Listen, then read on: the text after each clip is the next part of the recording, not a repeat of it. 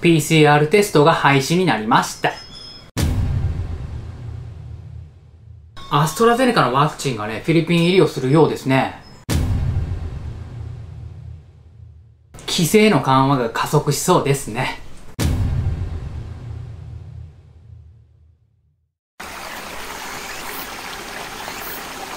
あいなこう、エドワーです。今日はね、曇っちょるね。うん、曇っちょる。最近はね、ずっと晴れておったんですけどね、また曇り出しましたね。皆さん、フィリピンしてますか？今日はね、曇っちょりますが、ちょっと暑いですね。なんかね、この台風が去りましてから、だいぶとね、夏っぽくなってきましたね。まあ、ほいでもこういう天気嫌じゃないね。さて今何度かなと、えっと、31.4度。高め。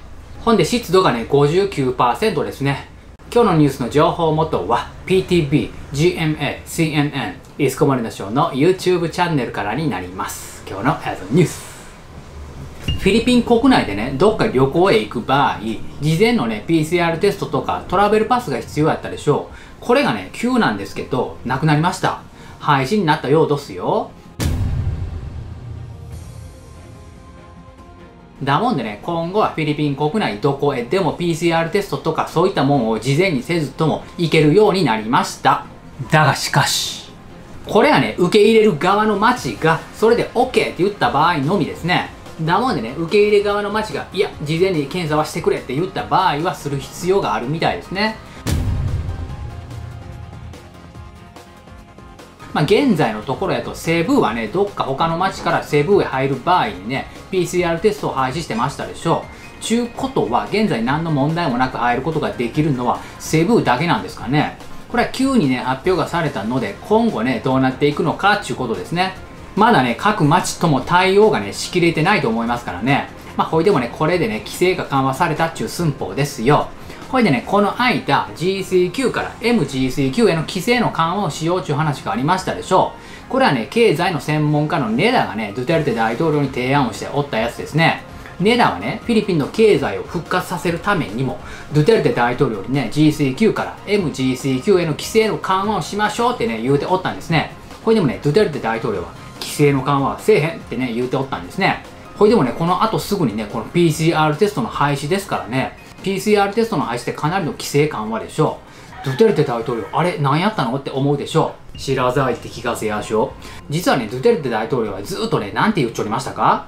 そう。まずはワクチンやって言うてたでしょ。まあ、ドゥテルテ大統領はね、もうずーっとまずはワクチンやって言うてたんですよ。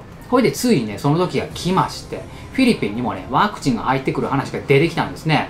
コバックスを通じましてね、ファイザー製のワクチンが2月15日にね、フィリピン入りをするってね、ほいでもね、その後に延期になりましてね、全然入ってこへんかったんですね。この時にね、フィリピンにファイザー製のワクチンが入ってきておりましたら、ネダのね、提案通り3月1日からのね、GCQ から MGCQ へのね、規制緩和もね、ドゥテルテ大統領はやってたでしょうからね。じゃあなんでここへ来て、急にね、PCR テストを廃止にしたのかですか。これがね、実はイギリスのね、アストラゼネカのワクチンがフィリピン入り確定したからなんですよ。これがね、コバックスを通じまして、3月1日にフィリピン入りをするようですね。だもんでね、明日になるっちゅうことですよ。ほいで、この数が52万5600個になるようですね。これが確定したもんですから、ドゥテルテ大統領は急にね、PCR テストの廃止をしたんでしょうね。となるとですよ、GCQ から MGCQ への規制の緩和もやるでしょうね。明日ね、ついにアストラゼネカのワクチンがフィリピンに入ってくるわけですからね、多分ね、4月1日ぐらいからフィリピン全土がね、MGCQ になるんじゃないでしょうかね。まあ、4月1日からっていうのはね、まあ、これは僕の予想ですよ。これでもね、今後はじゃんじゃん規制の緩和をしていくんじゃないかと思いますね。これで現在のフィリピンの規制はこんなんどす。ほいでね、さらに中国にシノバックのワクチンですが、こっちもね、フィリピン入りをするんですね。これが今日のね、2月28日の5時にフィリピンに届くようです。だからこれ数時間後ですね。ほいでシノバックのワクチンはマリキナにありますファシリティで保管がされまして、3月1日の明日からね、本格的に使っていくようですね。これでね、アンケートを取ったんですよ。あなたはシノバックのワクチンを打ちたいですか？言うてね。そしたらば13%の人が打ちたいで答えたようですねかなりのね低確率ですねだもんでねほとんどの人が打ちたくないようですね。みんなね打つんならファイザーとかアストラゼネカがええようですね。ほいでねタイでもねシノバックのワクチンを買ったみたいですね。タイでもねファイザーとかアストラゼネカのワクチンの獲得には苦戦しておるんかもしれませんね。ほんで明日に入ってきますアストラゼネカのワクチンですがこっちの方はねどういう感じでいつから使っていくのかっていうのはね報道がねまだ今日のところはないですね。これもねなんか急に決まった感じがありますからね。ほいで観光ビザでのフィリピン入国ですがこれに関してですがまだ何も言ってなかったです。ほいでもねこれは可能性がありますね。ついにねフィリピンにもアストラゼネカのワクチンが入ってくるわけですからね。ドゥテルテ大統領がね去年からずーっと一貫して言うておったのがまずはワクチンだですからね。ほいでそのワクチンのフィリピン入りが決まった途端にこの PCR テストの廃止でしょう。PCR テストの廃止ってこれなかなかのことですからね。だもんでね観光ビザでのフィリピン入国もね OK にする可能性はかなり高いでしょうね。この間もね観光省の外国人の受け入れをやっていこうよというような話がありましたでしょう。あの美しすぎる長官がおるんがね観光省でしたね。あのプヤト長官がねフィリピン政府にこの件についてリクエストしてますからね。これに対しましてね大統領のスポークスマンのハリー・ロケシャンはフィリピンはね規制の緩和を少しずつだがやっていっておると。観光客の受け入れの再開もあるだろう。もう少しだみんな。みんなもう少しの間だけ辛抱してくれ。その日は必ずやってくる。ってねアナウンスをしておりますからね。これはかなり可能性が高まってますね。僕もね今年中にフィリピンは観光客の受け入れはねやっていくと思いますからね。ただねどれぐらいの人が来るんでしょうねこれ受け入れたところでね。多分今ね皆さんがフィリピンに来たらねびっくりすると思いますよ。パンデミック前とは結構フィリピンは変わりましたからね。ほんでね昨日2月27日の感染者数ですが2921人ですね。3000人目前ですね。なんか最近ね感染者数がまだ増加傾向にありますね。これで全ての合計が57万4247人になるようですね。で293人が回復をしまして42人が亡くなったみたいですね。現在のアクティブケースは37,093人になるようですね。困難度す。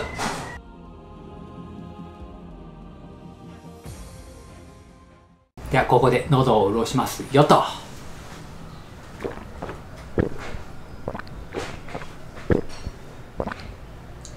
今日はね冷たい水ですね。暑いですからね。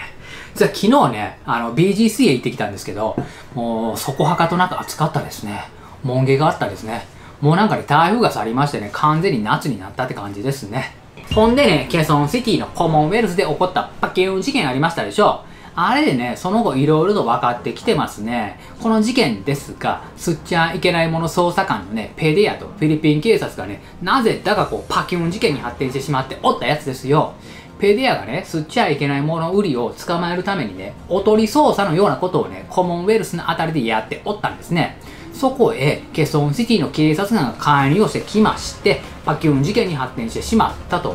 これでこのパキューン合戦は1時間以上も続いたらしいんですね。しかもこれで現在では5人がね命を落としたようですね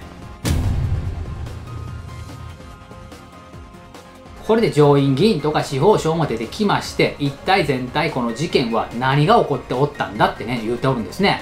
ほいでなんで1時間以上にもなった？誰が最初にパキュンした？というようなね疑問が出てきておったんですね。ほいでペディアは最初にパキュンしたのは警察だって言ってるんですね。ほいで警察は最初にパキュンしたのはペディアだって言ってるんですね。これどっちかが嘘をついてるんですね。皆さんはどっちが嘘をついちょると思いますか？これでねこの間はまだ情報がクリアじゃないって言ってましたでしょ？これでだいぶとね、クリアになってきちょります。この事件にはわからんことが多かったので、NBI がね、捜査に乗り出したんですね。まあ、NBI っていうのはね、アメリカでいうところの FBI ですね。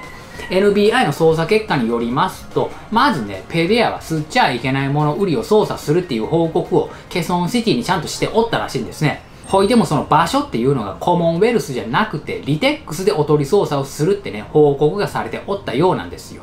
リテックスっていうのはね、まあフェアビューのあたりなんですね。まあ今回の事件が起きたコモンウェルスからもね、かなり近いところではあるんですよ。だもんね、近いですけど、場所がちょっと違ったみたいなんですね。これがなんでかって言いますと、ペデアはリテックスへ向かっておったようなんですよ。そのおとり捜査をするためにね。ほいで、バンとセダンの2台でね、向かっておったようなんですね。その途中で、セダンの方の車の調子が悪くなってしもうたらしいんですね。なんかこう、オーバーヒートみたいなことを起こして思ったらしいんですよ。まあ、フィリピンではようあるやつですね。そこで、車の調子を見るために止まったんが、今回の事件が起こったショッピングモール前やったんですね。ほいで車をこうパーキングに止めまして、こうボンネットを開けまして、まあ修理みたいなことをやっておったんですね。その部分もそこにありました監視カメラの映像にね、バーチリと残っちょるんですね。だもんでね、まだおとり捜査をする前やったっちゅう寸法ですよ。ほんならそこへケソンシティの私服警官が訪れたんですね。しかも、その時にはすでに手にはパキュンを持った状態でね、ほいでその私服警官は急にパキュンしたんですよ。しかもパキュンした相手っていうのがペディアと一緒におった情報提供者の一般人に向けてやったんですね。これも監視カメラに映像がね、バチコーンと残ってんですよ。だもんでね、最初の警察側の証言のペディアが最初にパキュンしてきたっていうのは嘘やったっちゅう寸法なわけですね。ほいでその後に警官はさらにね、ペディアにもパキュンしようとしてきたので、ペディアの捜査官はショッピングモール内に逃げ込んだようなんですね。だもんでね、もともとパキューン事件自体が起こったのは、ここのショッピングモール内じゃなくて、外で起こっておったことのようですね。ほいでその後に警官は増援を呼びまして、そこへ駆けつけたのがスワットやったっちゅう寸法ですね。ほいでほら、ペディアも精鋭ですからね。で、スワットもそうでしょう。だもんでね、1時間以上にもこのパキューン合戦は続いたということみたいですね。せやからね、最初の情報とももう結構違う部分が多かったようですね。もともとはね、ペディアはショッピングモール内でおとり捜査をやっておって、そこでドンパチ始まったっていうことでしたからね。これでね、警察は自分たちも吸っちゃいけないもの売り捜査中やったと。自分たちは600万ペソ分の吸っちゃいけないものを吸っちゃいけないもの売りから買ったと。そこでパキュンしたって証言してるんですね。これでもそんな場面、監視カメラには一切残ってないんですけどね。吸っちゃいけないもののやり取りなんかなくね、急にこう近寄ってきてパキューンしてますからね。しかも警官はまずは情報提供者の一般人をパキューンしてますからね。これなんでしょうね、待ち伏せかなんかして狙っておったんでしょうかね。まあ、ほいってもね、これもまだ分かってないこと自体がね、多いんですね。NBI もね、まだ捜査中の段階ですからね。ほいでもね、これはまたまたフィリピン警察の失態ということになりそうな感じの雰囲気になってきておりますね。これでね、以前ほら、スールーで起こった事件ありましたでしょう覚えておりますか？スールーでね、潜入捜査中やったフィリピン軍の軍人さん4人がね、おったんですが、この4人がね、フィリピン警察9人からバキューンされた事件ですね。この時もフィリピン警察側は軍人さんが先にパキュンしてきた。だからわしらはパキュン仕返したって証言してたんですね。ほいでもそこにありました監視カメラの映像を確認してみたら、軍人さんたちはね、何にも抵抗もしてないし、まあ、そもそも丸腰でしたからね。フィリピン警察側がね、一方的にこれパキュンしておったんですね。しかもこの時にフィリピン警察側は軍人さんたちが抵抗したかのような小細工までしてましたからね。これらの全てがね、監視カメラの映像に残っておったんですね。しかもこの時にフィリピン軍側はバイクに乗ったバックアップのための人がね、もう一人実はおってね、その人がね、この一部始終も見ておったんですよね。ちゅうことで、この事件は完全にフィリピン警察側の過ちやったっちゅう寸法なわけですね。この時はね、フィリピン軍対フィリピン警察のこう戦争に発展しそうな感じになってましたからね。これはやばいちゅうことで、ドゥテルテ大統領が急遽スールーへ駆けつけましてね、フィリピン警察とフィリピン軍の説得までしたんですからね、もうあの状況をね、どうにかできるのはもうドゥテルテ大統領しかおらんかったでしょうからね。ほいでこの事件がね、今回のことってまだね、蒸し返されてますね。前回はね、フィリピン軍対フィリピン警察。で、今回はペデア対フィリピン警察。ほんで次はフィリピン警察は誰に噛みつくんや ?NBI か？みたいなね、コメントもね、よく見かける今日この頃ですね。これで毎回のことなんですが、こうやってね、証言が食い違うんですよね。これでね、何が真実なのかってわからんですから、フィリピン警察ではボディカメラの装備を義務付けるようですね。ボディカメラっていうのはね、こんなんです。これをね、操作中はこうずっとつけておく必要があると。で、電源を切っちゃダメって、ライブストリームができるようになっておるようですね。あの、ライブストリームってあの、生放送ですか？このボディカメラをね、フィリピン警察は2600個とりあえず買ったようですね。これで今後はもっとね、増やしていくようです。この提案自体はね、ほいでもね、2016年からされておったようなんですが、まあなんかずっとね、導入がされてなかったようですね。まあこれがね、導入されたことで、事件の闇の中パターンがね、減ったらええですね。こうしてね、ポゴで働く中国人の誘拐事件が起きてますね。これは去年からまちょくちょく紹介をしておるやつですね。まあ、ポゴっていうのはね、中国人向けのオンラインギャンブリングのことですね。これがね、それはそれはね、儲かるらしいんですね。だもんでね、たくさんの中国人がフィリピンでポゴワーカーとして働いておるんですよ。こういうオンラインギャンブリングっていうのはね、中国国内では禁止らしいですからね。中国人はね、こうやって他の国へ行きまして、ポゴをやっておるんですね。ほいで、このポゴワーカーの中国人女性が誘拐をされまして、ケソンシティ内でフィリピン警察によって助け出されたようですね。これでこの中国人女性の証言によると、他にもまだ誘拐されておる人たちがおるとの報告を受けたんですね。ほいで、えらこっちゃちゅうことで、フィリピン警察は彼らの救助にも乗り出したようなんですよ。ほいで、彼らが誘拐されて監禁されておったのが、パンパンガのメキシコやったらしいんですね。実はね、皆さん、フィリピンにもメキシコがあるんですよ。ほんで、そこでポゴワーカーの中国人3人が救助されたようです。これ誘拐犯11人のフィリピン人が捕まったようですね。これ珍しいでしょう。大体ね、ポゴワーカーを誘拐するのは中国人で、中国におるね、家族にお金を要求するんですけどね。ほいでこの誘拐をされておりました4人は、ポゴをね、辞めたかったようで、上司に辞めさせてくれって頼んでおったようなんですが、この上司からはダメってね、辞めさせてもらえなかったようです。ほんで最初のケソンシティで救助された中国人女性おりますでしょう。この女性が実は2019年にも誘拐をされておったようなんですね。ほいでその時もフィリピン警察に救助されておったようですね。しかもね、その時に誘拐した犯人と今回の犯人が同じ11人やったようですね。2011年の時にはこの11人は警察に捕まっておったようなんですよ。ほいでもね、その時は解放されておったようです。え？どういうこと？って思うでしょう。これね、なんでかって言いますと、この誘拐されておった女性が事件化をしなかったようですね。なんでって思うでしょう。チラザイって聞かせやしょ。実はこの2019年の時から、この女性はポゴを辞めたかったようなんですね。ほいでも上司は許可を出さなかったらしいんですよ。ほいでこの上司は11人のフィリピン人とね、繋がっておったようですね。この上司に頼まれてフィリピン人11人がこの女性の誘拐をやっておったみたいなんですね。ほいでこの女性が事件化しなかったのは、ポコの上司が事件化しやがったら中国におるチミの家族がどうなることかなーって脅しをかけておったようですね。これは何でしょうね。この女性は重大なポゴの秘密かなんかを知っちょるんですかね。それで辞めさせてもらえなかったんですかね。その辺が気になっちゃう感じですね。これがあったもんですから、この女性は事件化もできずに、ポゴを辞めることもできずに、ずるずるとポゴワーカーをやらされておったようなんですね。ほいで最近ね、また辞めさせてくれ言ってね、そんなようなことを上司に頼んでおったんでしょうね。ほいでそんな奴はまた誘拐あるよって感じやったんでしょうかね。